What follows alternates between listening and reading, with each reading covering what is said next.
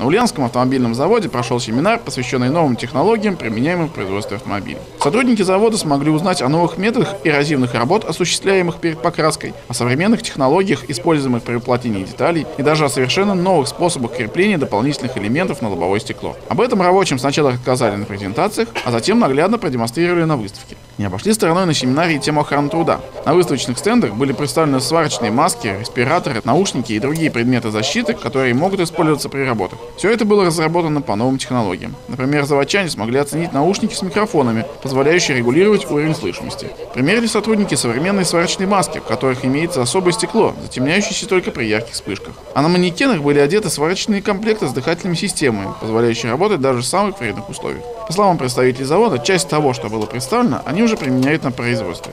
В целом же подобные технологии сейчас довольно распространены в российском автопроме и используются на ВАЗе, ГАЗе и других автозаводах. Игорь Улитин, Даниил Сурков, Новости дня, Ульяновская правда.